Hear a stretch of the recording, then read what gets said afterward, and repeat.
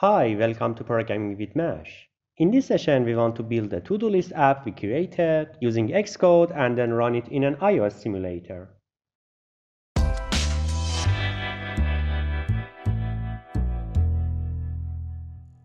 In the previous session, we created an Android app bundle from the to-do list app and uploaded it to the Google Play Store. Now we want to run the app in iOS. To do this, go to this section in reactnative.dev. Note that you must be on the React Native CLI tab and the macOS and iOS options are selected. You must first install Node and Watchman through the terminal using these commands. Then download and install the latest version of Xcode from the App Store.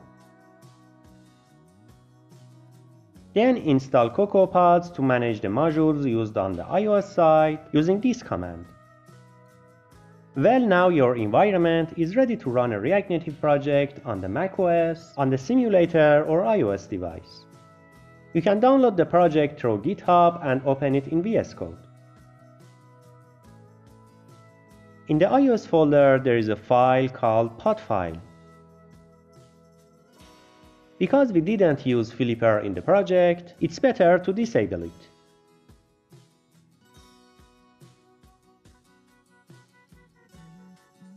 Now with the npm install command, we install the modules that are in the package.json file.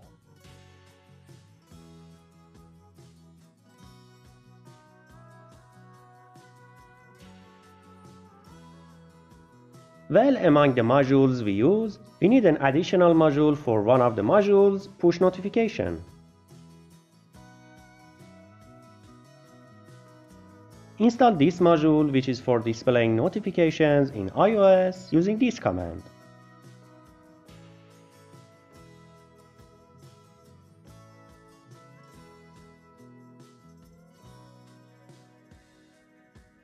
Here are the steps to link this module. First, using this command, we install the pod associated with this module and the rest of the available modules.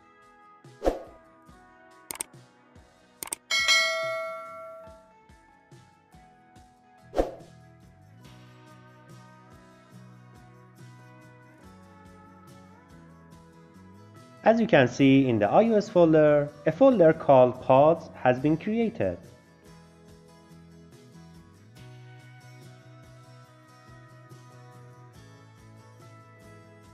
Now we need to apply the settings using Xcode. Go to the project folder and inside the iOS folder, run the project file with the extension XC Workspace. Waiting for the files to be indexed by Xcode.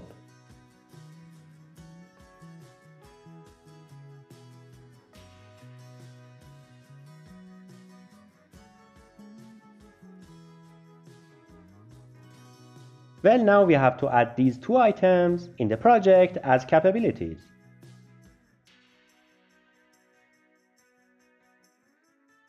Click on the project name and go to the Signing and Capabilities tab.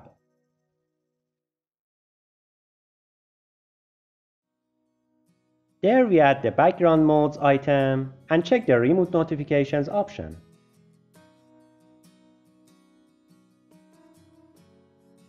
We also add the push notifications item.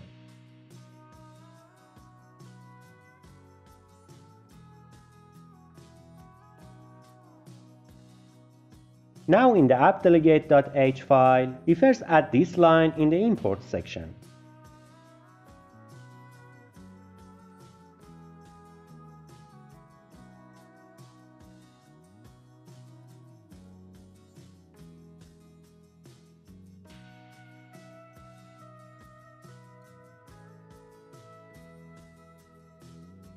Then we update this line as the protocols used in the project.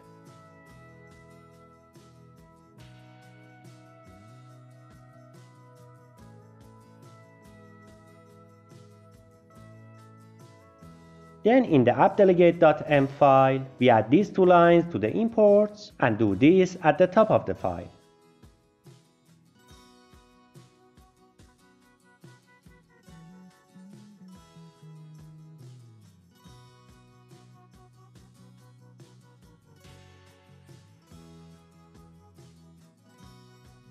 Then we add these lines to the file.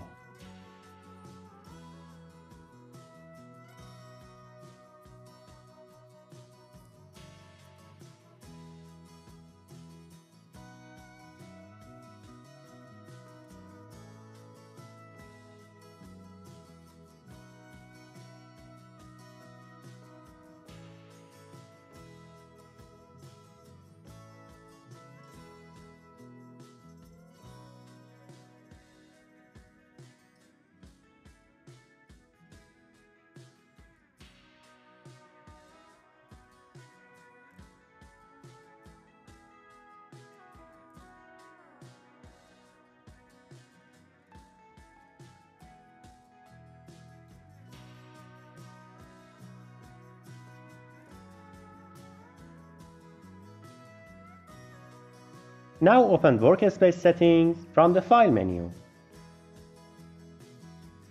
Here we set the build system to legacy build system. Now click on the project again and this time go to the build settings tab.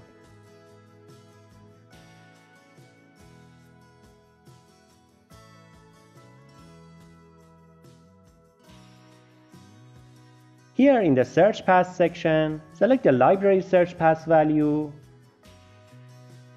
and move the inherited value to the bottom of the list.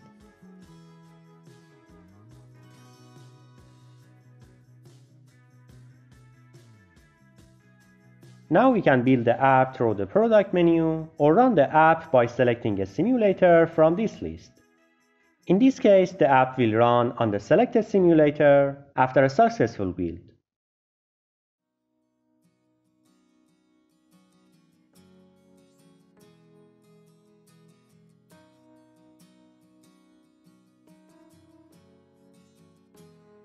As you can see, the app ran properly on the simulator. Now we can create a new task. Components whose style is cluttered, you can define different styles for them depending on the platform. Well, I will create a new task.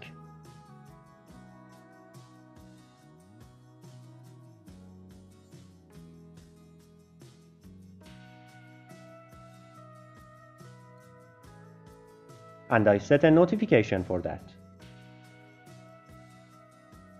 Unfortunately, we can't test the camera on the simulator, and we need a real device to open it.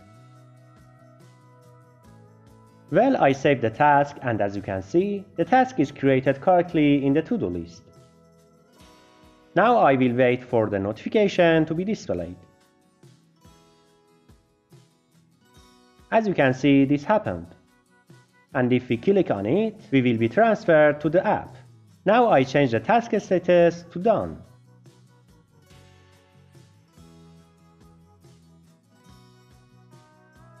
Well, as you can see in the text of the error, it can't recognize the font that we have defined for the item.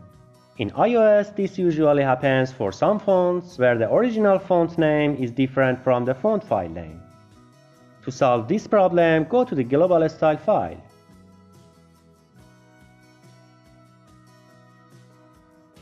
And where we have defined this font using the platform, we change the font name for using iOS.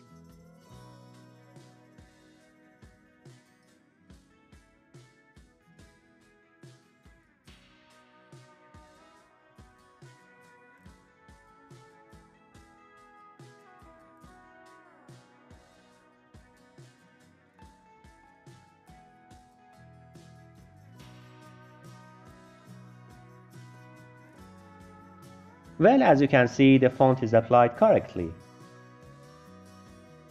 Now we want to change the apps launcher icon to our liking. To do this, we can use this site, which we used before for the Android launcher icon. In this section, we just hold the iPhone tick. We upload the desired image and generate the desired file.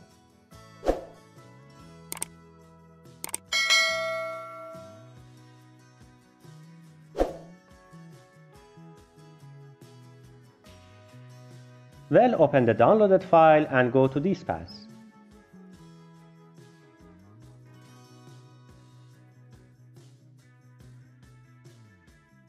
Here we select and copy images with different sizes along with the contents.json file. Then we go to this path in the project folder and paste them. And replace the existing file. Well, the app icon has not changed yet. First, we stop the app from here. We terminate the metro and run the app again.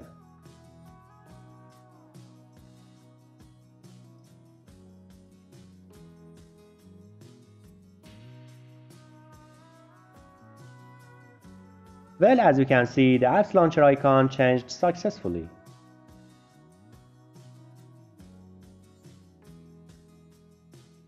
Now if you want to publish the app on the App Store or output it as an IPA file, in the signing section, you must place the selected theme on a profile that has an active developer or enterprise account. You can also change the bundle identifier to your liking, which of course must be a unique identifier. Then in this section, you have to put the option on any iOS device instead of iOS simulators. And through the product menu and archive option, create your desired output. So there we go, we learned how to build the app using Xcode and then run it in an iOS simulator. I consider this session as the final session of this series. Then you can watch other channel videos about React Native and also upgrade your level by watching the next series. Now if you enjoyed the series, please don't forget to like, comment, share and subscribe and I'll see you in the next video.